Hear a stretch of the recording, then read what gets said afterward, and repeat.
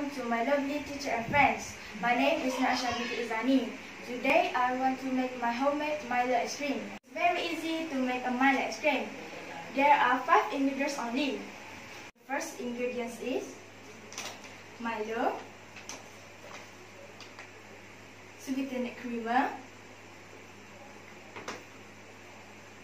evaporated creamer, vanilla flavor, and last one is an overlap. Okay, let's get started. First, we pour a tin of evaporated milk.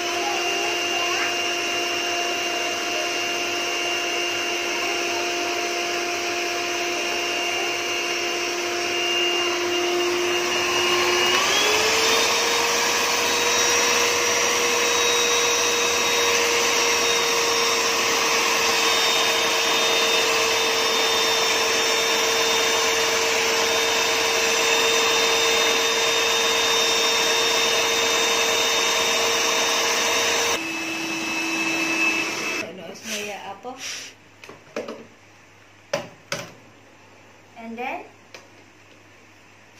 I put this on the ice cream container.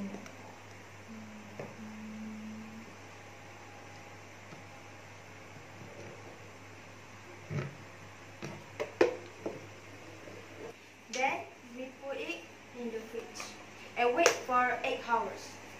Wait, wait, wait! So me, so me and my cousin, we put it in the fridge. Close it, Duha. Good. Okay, bye. Follow me for me today. Bye. Bye, Duha. Bye. Bye.